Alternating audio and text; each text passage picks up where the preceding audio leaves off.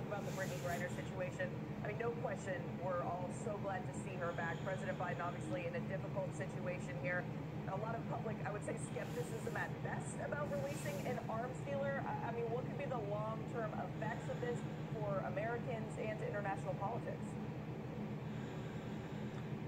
Well, obviously, this worked. This worked for him.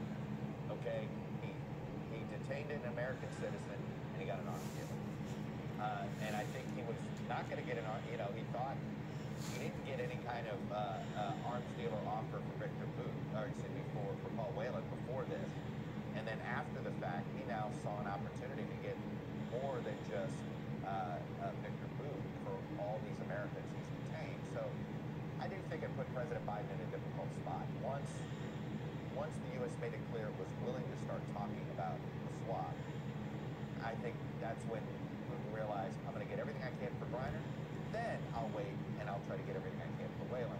And I think he's going to end up succeeding at this. And I think the question is, does this? I can tell you this: if if you're a prominent American, whether business, culture, media, however you want to look at it, in politics, I don't know if I would go to any of these countries like Iran, China, maybe even uh, uh, obviously Russia, maybe even Saudi Arabia and, and, Turkey, because American citizens are leveraged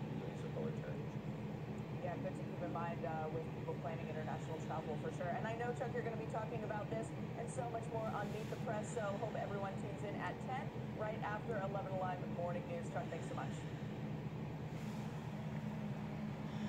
It was the night before Christmas